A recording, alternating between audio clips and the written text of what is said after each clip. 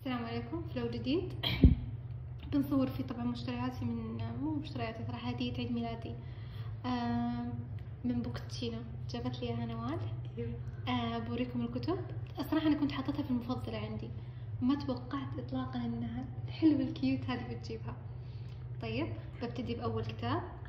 آه أسامة مسلم. أنا صراحة كنت قد قريت رواية قبل كذا كانت رعب. ما خاب ظني اسمها خوف. تتجنن مرة روعة. ويعني ال- الأحداث صراحة مقنعة.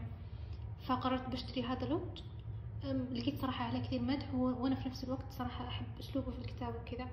وله ثلاثة أجزاء.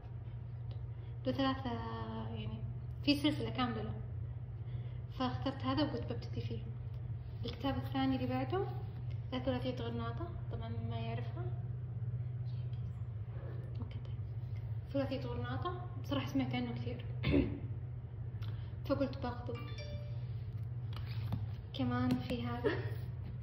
مذكرات طالب بالحرب الباردة. تعرفون Diary of a Wimpy Kid.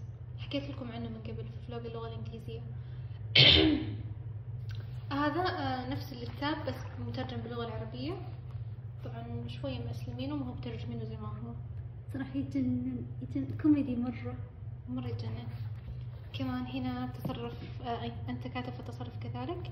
صراحة أنا كنت ماخذته بس ال شو اسمه هذا زوجي ما يعني مو لي. فكهدية هنا الجميل هاروكي موراكامي. طبعا أنا قريت صراحة أول كتاب هذا. قريته تقريبا قبل ما أدري والله بس بتلاقون تقييمه عندي في الإنستغرام. قريته صراحة انقهرت جدا إني أنا ما كنت أدري إنه في لسه كمان في تكملة له. الصراحة يجنن بس اللي قهرني إنه النهاية ما كانت واضحة. بتلاقوني كاتبتها. لما لقيت إنه في هذه فقمت اشتريته هو وقلت خليني أقرأ على أرض الواقع. لأن المرة اللي قريته فيها كان كان بي دي اف فما عجبني. هذا الجزء الثاني. شو شلتي؟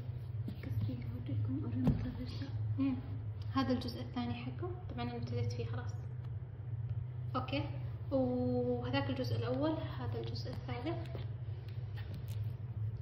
لسه باقي القرطاس وما فتحته هنا هذه الدجاجة التي حرمت بالطيران. ال- الرواية هذه كورية ترى طيب قصتها هي أم. أنا بصراحة قريت بس من ورا. هي أم. على أساس إنها دجاجة وكانت دائما تتألم إنهم يأخذون البيض حقها فحلمت بالطيران. تبغى تطير برا المكان اللي هي فيه وتروح. تتكلم عن هي شوي نسوية. تتكلم عن الحرية عن إنه كيف الشخص يناضل عشان أهدافه. هو هم كاتبينها هنا هذا هو الريفيو حقها أنا صراحة عشان كذا عجبتني. أنا صراحة حبيت اسمها. هذا الكتاب صراحة لي قصة جدا غريبة معاه ألا وهي إنه أنا تحلمت. تحلمت بالكتاب هذا. يعني صراحة أنا ما كنت أدري إنه في كتاب اسمه صائد الساحرات. إطلاقا ولا قد سمعت عنه حتى. بس تحلم بالحلم هذا. بس تدور يعني إيش صائد الساحرات؟ إيش صائد الساحرات؟ وأول ما شفته طلع في وجهي البوكاتشينو قلت له باخذه بشوف شو السالفة. يمكن رسالة من الكون أو ما أدري إيش هو. بعدين الأخير الرحلة العجيبة للفقير الذي ظل حبيسا في آه، خزانة إيكيا.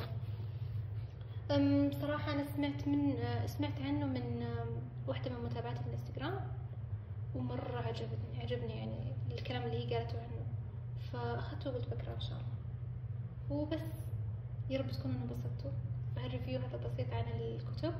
إن شاء الله لما أقرأها بعطيكم تقييمي عنها الحقيقي الأخير وبس bye. إي صح لا تنسون like subscribe و share و comment لطيف لو سمحتوا. زيكم شكرا.